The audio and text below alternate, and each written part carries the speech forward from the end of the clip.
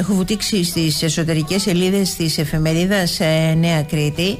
Ε, διαβάζω το θέμα, αλλά ξέρετε δεν θα μείνω στην πορεία της συζήτησης πάνω σε αυτό, αλλά θα το προχωρήσω και λίγο λίγο παρακάτω και θα καταλάβετε τι εννοώ. Γράφει λοιπόν εφιαλτικές αποκαλύψεις. Ανάστατη είναι η τοπική κοινωνία του Μιλοποτάμου από την υπόθεση βιασμού 15χρονου κοριτσιού που φαίνεται ότι συνέβαινε συνεχώς από τότε που ήταν 13 ετών για την αδιανόητη αυτή η υπόθεση έχει σχηματιστεί μια ογκοδέστατη δικογραφία.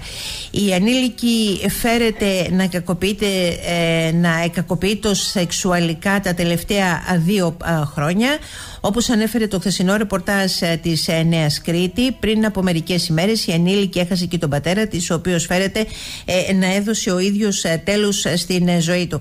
Οι αποκαλύψεις μπορεί να τρέχουν από ώρα σε ώρα να είναι συνεχής αλλά το ζητούμενο δεν είναι το να βγάζουμε τέτοιου είδους αποκαλύψεις γιατί πάνω απ' όλα θα πρέπει να προστατευθεί και αυτό το παιδί με όσα τραγικά έχει ζήσει αυτά τα δύο χρόνια. Θέλω να μείνουμε σε κάτι άλλο. Θέλω να μείνουμε σε αυτά τα οποία πάρα πολύ συχνά εμείς εδώ από τη συχνότητα του Ράδιο 984 λέμε και λέμε σε όλους τους τόνους ότι θα πρέπει να μάθουμε να μιλάμε ότι θα πρέπει με οτιδήποτε περίεργο με το περίεργο ε, εντός εισαγωγικών ε, να συμβαίνει δίπλα μας να μας κάνει λίγο πιο παρατηρητικούς. Να έχουμε μάτια ανοιχτά να έχουμε αυτιά ανοιχτά γιατί δεν ξέρεις στους δίπλα στους παραδίπλα στους πάρα παραδίπλα τι ακριβώς μπορεί να συμβαίνει και ποιοι άνθρωποι να χρειάζονται βοήθεια. Και τα έχουμε πει πάρα πάρα πολλές φορές και με τον κύριο Γιαννόπουλο από το χαμόγελο του παιδιού γιατί το χαμόγελο του παιδιού ήταν αυτό που πήρε αυτή την καταγγελία, την ανώνυμη καταγγελία και κίνησε όλες τις διαδικασίες όπως επίσης πάρα πολλές φορές θα έχουμε πει και με τις ψυχολόγους από το χαμόγελο εδώ στην Κρήτη και αναφέρομαι τόσο στην κυρία Φουστελιεράκη όπως επίσης και στην ε, κυρία ε, Φωτεινή ε, Παπαδάτου. Αν θυμάμαι καλά τα ονόματα εδώ από το Ηράκλειο. Εγώ σταματάω λίγο και συνομιλώ σήμερα πάνω σε αυτό το θέμα με την κυρία Φουστελιεράκη καλημέρα σας τι κάνετε; Καλημέρα σας κυρία Τουλγεράκη. Ε, ευχαριστούμε ξανά για ακόμη μια φορά που μας φιλοξενείτε στην εκπομπή Εγώ νομίζω ότι εμείς πρέπει να σας ευχαριστούμε ε, διότι έχετε αυτιά ανοιχτά, μάτια ανοιχτά πολλές ώρες ε, στη ζωή μας. 24 ώρες το 24ωρο 48 ώρες το 48ωρο με όλες σας τις δυνάμεις για να βοηθήσετε εκείνους που υποφέρουν.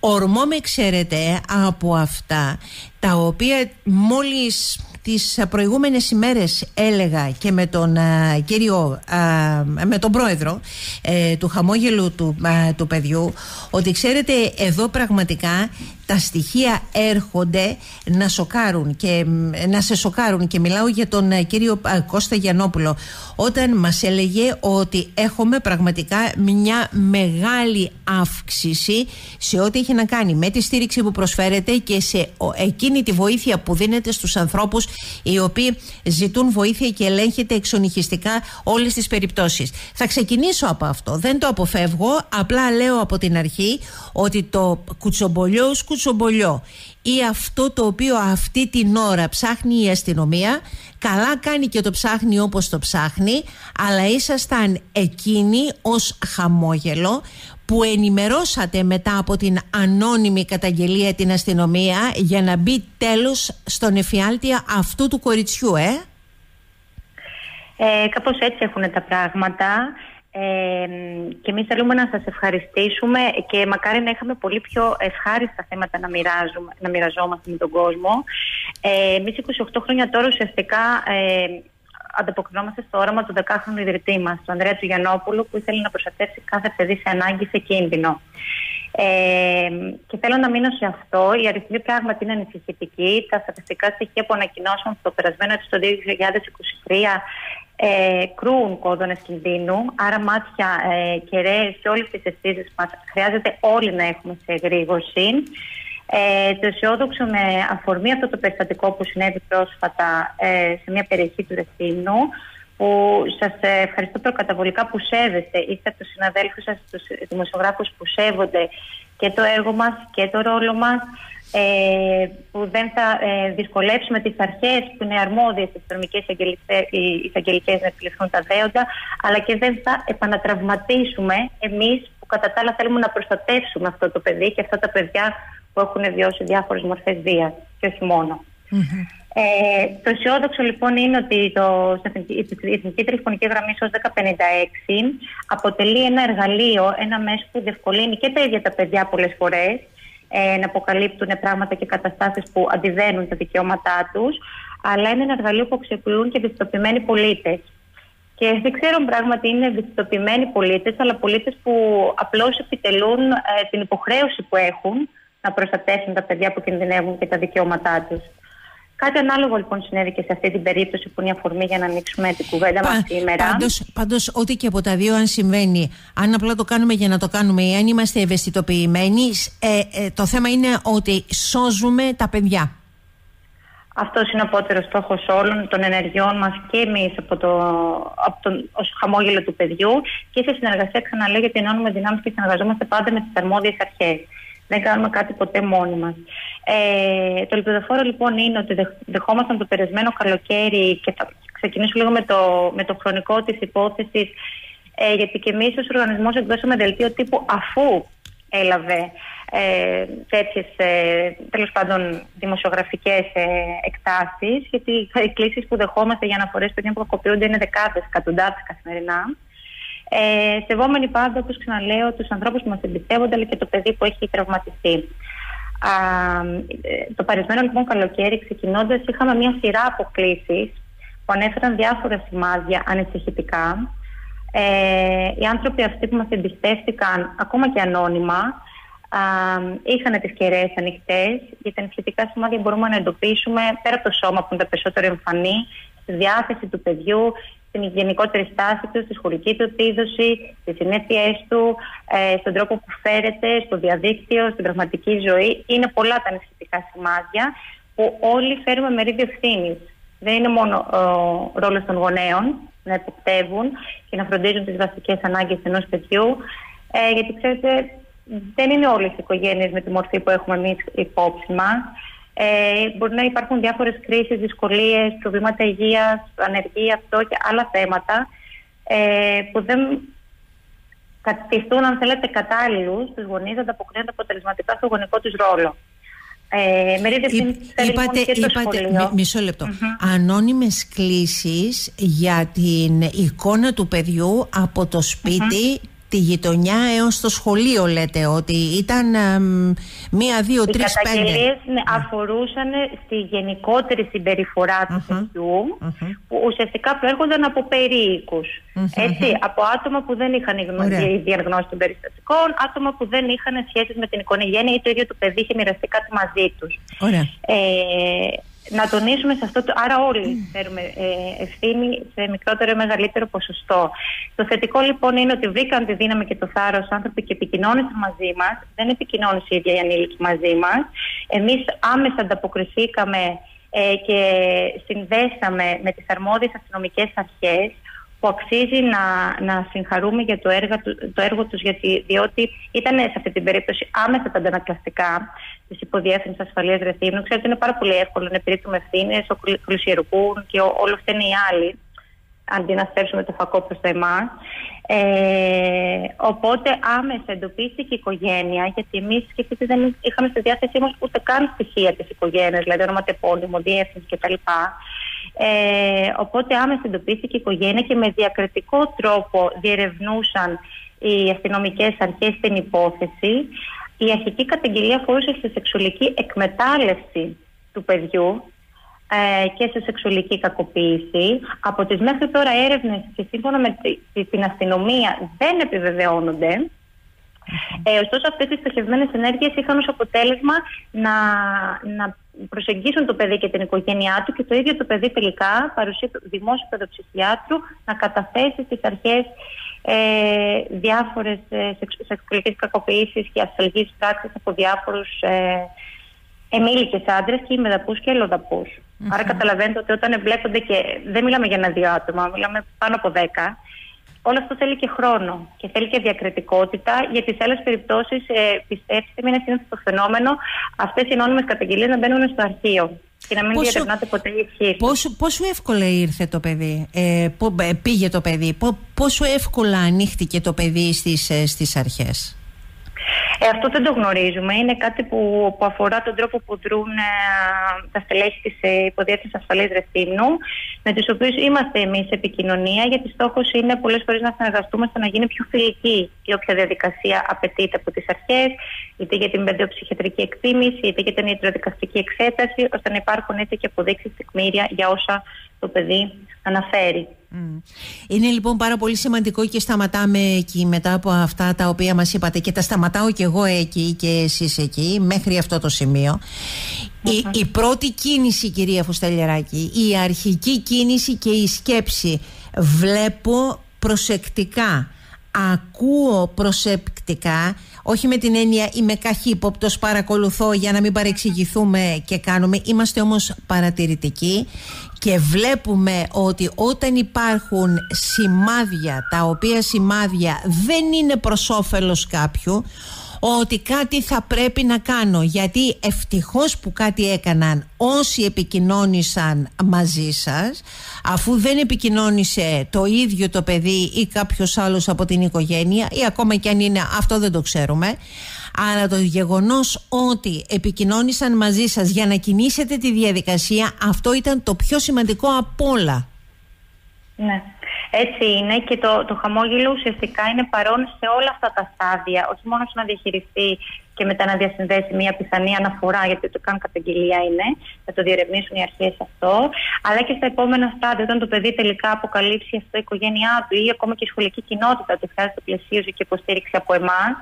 Εξατομικευμένα λοιπόν θα δούμε τις ανάγκες και μπαίνουν σε μια συμβουλευτική διαδικασία μαζί μας, υποστηρικτικά, Εννοείται και εμείς ως ψυχολόγοι θα παραπέμψουμε αν χρειάζεται συστηματική παρακολούθηση ψυχοθεραπεία. Θα συνεργαστούμε με δημόσιες υπηρεσίες, το τονίζω. Ε, εποπτευόμαστε και εμείς οι ίδιοι από τα πανεπιστήμια, το τονίζει και ο πρόεδρός μας, ο κ. Γιαννόπουλος. Ε, αλλά σίγουρα ε, υπάρχει το κώδικα διοντολογίας των ψυχολόγων που δεν μας επιτρέπει να αναφέρουμε ούτε ποια παιδιά στηρίζουμε, ούτε τι μας αναφέρουν αυτά τα παιδιά, γιατί μένουμε πιστοί στο, στο στόχο μας που είναι να απαλύνουμε τον όποιο πόνο φέρουν. Είτε παιδιά είτε ενήλικοι που μας εμπιστεύονται.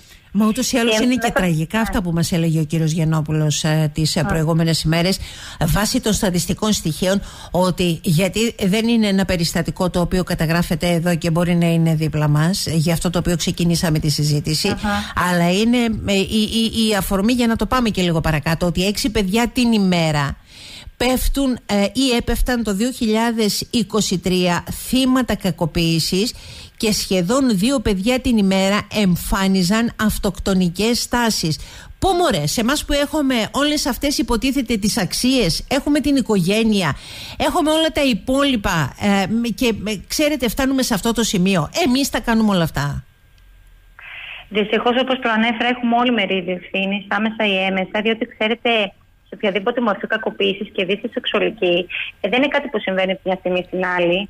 Ε, χτίζεται, ε, προσπαθούν τέλος πάντων αυτά τα άτομα που θέλουν, έχουν πρόθεση να κακοποιήσουν ένα παιδί, ε, προσπαθούν να κερδίσουν την εμπιστοσύνη τους.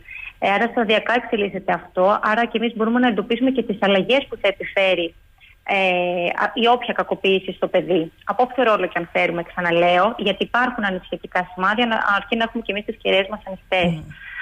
Ε, Ανησυχητικά σημάδια μέσα από την οικογένεια, ανησυχητικά σημάδια από τον περίγυρο, από το φιλικό περίγυρο, ανησυχητικά σημάδια μέσα από τα σχολεία είναι ένας yeah. Ναι. κύκλος που πάντα θα πρέπει να είναι ανοιχτός. Ένας κύκλος ο οποίος δεν θα πρέπει να κλείνει, απλά να προστατεύει. Ένας κύκλος που όχι απλά πάει για να καταγγείλει, γιατί πολλές φορές ξέρετε, όταν ζητάμε και ένα άλλο θεωρέο, λέμε Εγώ δεν γίνομαι καρφί, δεν, είναι, δεν κάνω εγώ καταγγελία. Δεν, δεν είναι έτσι τα πράγματα όμως, κυρία Φουσταλιαράκη. Συμφωνώ απόλυτα, διότι δεν πρέπει να μένει μυστικό. Έτσι λέγεται και η καμπάνια που λειτουργούμε εδώ και χρόνια. Ε, μυστικό που κάνει ένα παιδί να ντρέπεται, να φοβάται, ε, να μην θέλει να πάει στο σχολείο, να μην μπορεί να κοιμηθεί τα βράδια, να χάνει την όρεξή του.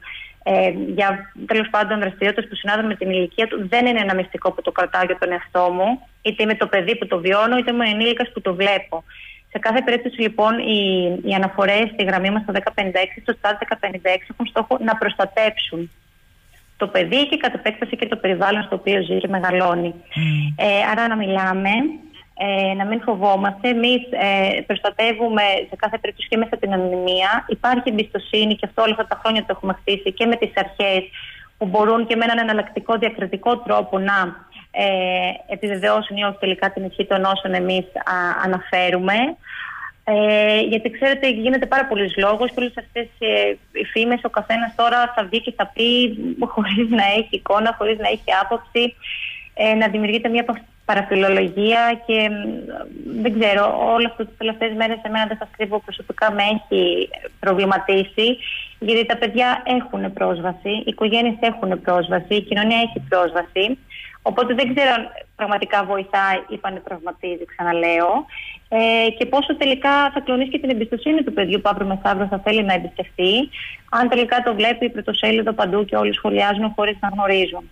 Και ε, είναι εύκολος στόχος του παιδί. Τα, τα παιδιά αυτά είναι πάντα ευάλωτα είτε υπάρχει κρίση στην οικογένεια, είτε δεν υπάρχει επαρκής εποπτεία για διάφορους λόγους οι γονείς δεν μπορούν να ανταποκριθούν στο ρόλο τους. Και, και η, η ευρύτερη κοινωνία, ξαναείπαμε, έχει, έχει ευθύνη και ευτυχώς σε αυτή την περίπτωση που κίνησαν τις διαδικασίες που συζητήσαμε. Ε, ένα παιδί ε, δεν μπορεί πολλές φορές λόγω των επιχειρηματικών του σταδίου να αντιληφθεί ότι αυτό που βιώνει επί σειρά ετών, γιατί δεν μιλάμε για ένα μεμονωμένο περιστατικό, αποτελεί κακοποίηση και παραβιάζει τα δικαιώματά του κυριαρχούν ενοχές, ότι εκείνο το προκάλεσε, εκείνο φταίει.